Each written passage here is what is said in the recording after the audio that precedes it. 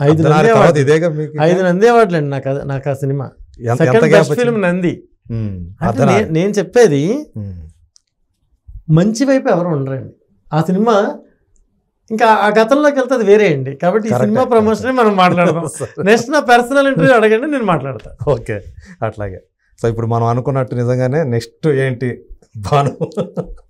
భాను పరిస్థితి నెక్స్ట్ ఏంటి? నెక్స్ట్ ఏం చెప్పేవాళ్ళు మీరు? నెక్స్ట్? ఏంటంటే నాకెలా తెలుస్తుంది?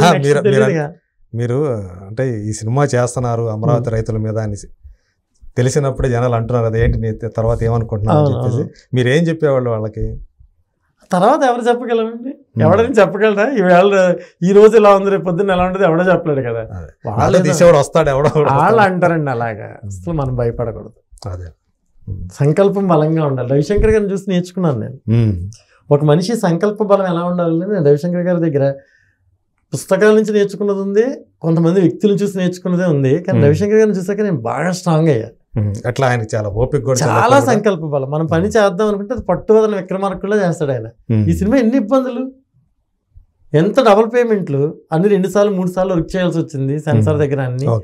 ఇంత భరిస్తూ కూడా ఆయన సినిమా చేసి ఎవరో డిస్ట్రిబ్యూటర్లు ముందుకు రాపోయినా కూడా అధైర్యపడకుండా తనకున్న సర్కిల్ ద్వారా మళ్ళీ పాపం ఆయన ఈ సినిమాని ప్రజల మధ్యకి తీసుకెళ్ళి. పెద్ద సంస్థల నుంచి తీసుకెళ్ళారు మళ్ళీ ఆయన. ముందు చిన్న చిన్న ఒడిదుడుకులు ఎదుర్కొన్నా ఫైనల్గా పెద్ద సంస్థల నుంచి సినిమాని బయటికి తీసుకెళ్ళే వరకు ఆయన పోరాడాడంటే అదే ఉమ్. మామూలు విషయం సార్ సినిమా. రిలీజ్ అయిపోయింది అనుకున్న టైంలో మళ్ళీ నోటీసు. మళ్ళీ థియేటర్లకు మెసేజ్ పెట్టి తెలంగాణలో థియేటర్లో షో వేస్తారంటే కూడా ఈ మెసేజ్ పెట్టి లేదు లేదు మన కోర్టుని ధిక్కరించకూడదు.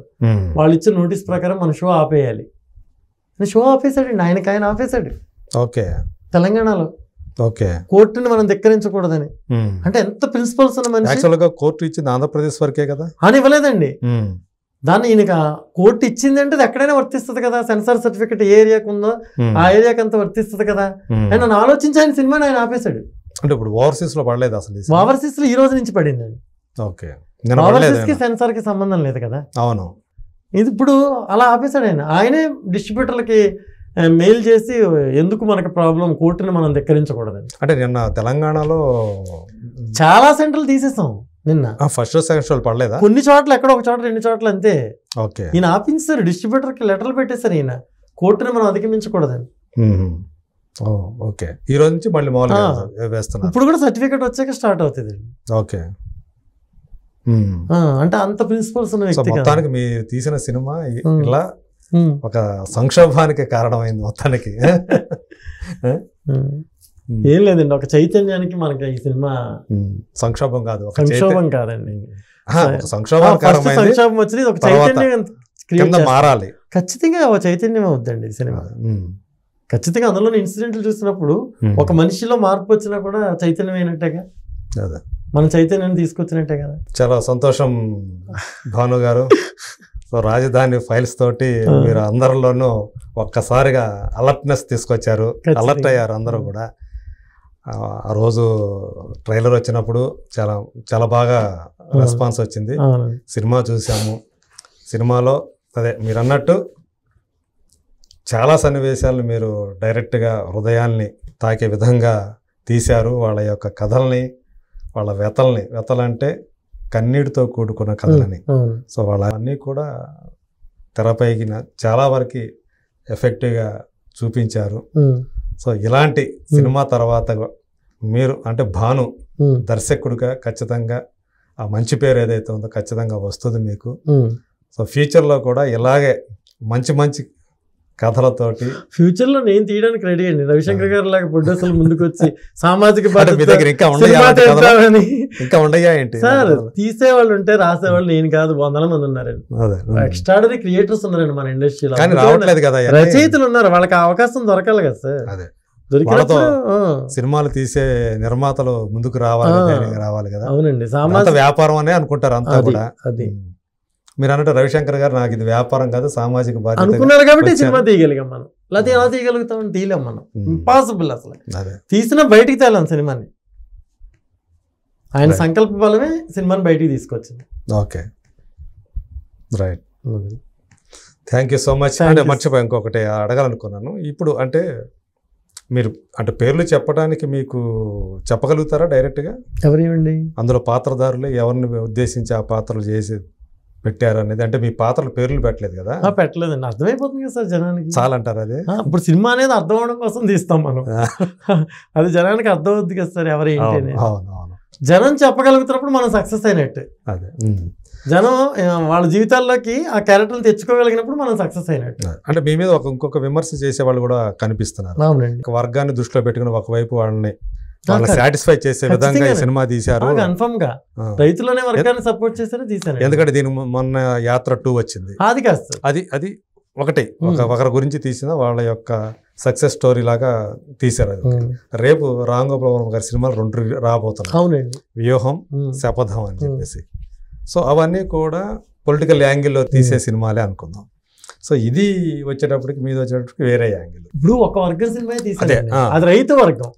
నేను చెప్పేది విన్నారు మీరు. అదే అదే. రైతు వర్గం అండి నేను తీసింది. అంతేగాని పొలిటికల్ వర్గాలకు కాదు నేను తీసిన సినిమా. వాళ్ళకి మీరు అంటే ఇదే చెప్తారా? ఇట్లా అంటే దీంట్లో ఆ యాంగిల్ ఏమీ లేదు అలాంటిది ఏమీ లేదు.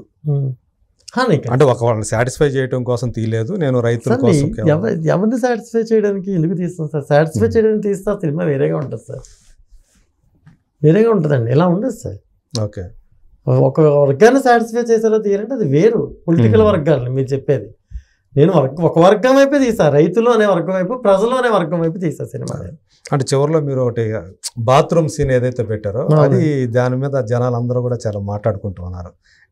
ఇది కావాలని పెట్టారా? లేకపోతే ఏంటది? అంటే కావాలని ఎందుకు పెట్టామని ఎందుకు అనుకుంటున్నారో నాకు తెలియదు సార్ అది.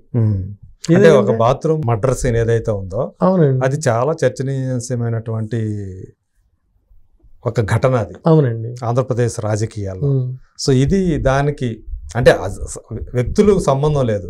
కానీ ఘటన ఘటనతో సంబంధం ఉంది. అదే పూర్వం ఎర్ర చీర కట్టుకుని ప్రతిదీ నా పెళ్ళమే అన్నాడంటండి ఎవడో. వెనకడికి మీకు తెలియదే ఉంది. ఎర్ర చీర కట్టుకుని వీళ్ళ ఇంట్లో వీళ్ళ ఆవిడ ఎర్ర చీర కట్టుకుందని ప్ర- ఎర్ర చీర కట్టుకుని ప్రతి వాళ్ళ దగ్గరికి వెళ్ళి నువ్వు నా పెళ్ళాను అంటే చెప్పు తీసి కొడుతుంది ఆవిడ. కదండి? ఇప్పుడు ఒక ఇన్సిడెంట్ జరిగినప్పుడు నువ్వు ఆ ఇన్సిడెంట్ నువ్వు ఆపాదించుకోకూడదు. ఓకే. అన్ని చోట్ల జరుగుతుంది. మీరు మీరు అర్థం చేసుకోండి. ఇప్పుడు నేను చెప్పాలనుకుంది ఏంటి అంటే ఇప్పుడు పోలిన సంఘటనలు వేరు ఆ సంఘటన తీయడం వేరు. ఓకే. ఎక్కడైనా జరగచ్చు సార్. ఇప్పుడు ఆ సినిమాలో జరగకూడదని ఏముంది? బాత్రూమ్ అనేది ఇప్పుడు మాట్లాడుతున్నారు. సార్ గొడ్డలే అంటున్నారు సార్. అది చాలా తప్పు నేను ఒప్పుకోను అసలు. గొడ్డలి అంటే సినిమాలో గొడ్డలు వాడలేదు సార్. బోయపాటి గారి సినిమాలు అంటే గొడ్డలే ఉంటుంది. అంతకుముందు ఎన్టీ రామారావు గారి సినిమాలు అంటే గొడ్డలే ఉంటుంది. సింహాద్రిలో ఎన్టీఆర్ జూనియర్ ఎన్టీఆర్ కూడా గొడ్డలే పట్టుకుంటారు మీరు అదెందుకు మ్యాచ్ చేయట్లేదు? మీ సినిమా వాడారు కాబట్టి ఆ సీన్కి ఈ సీన్కి అది అది చాలా నేరం అండి పరశురాముడు పెట్టారు పరశురాముడు కూడా గొడ్డలు పట్టుకుంటాడండి. పరశురాముడు ఆయుధం ఏంటండి గొడ్డలే అవును. మనం అలా ఆలోచించదు అక్కడ మనం ఆలోచించాల్సిన దృక్పథం వేరండి. మరి ఇప్పుడు తీసేస్తే అలా మీరు అదొక్కటే ఆలోచిస్తారేంటి? రైతుల గురించి ఆలోచించండి. ఎక్కడో జరిగిపోయిన ఇన్సిడెంట్ ఇన్సిడెంట్ తీసావని నన్ను అంటున్నారు కదా.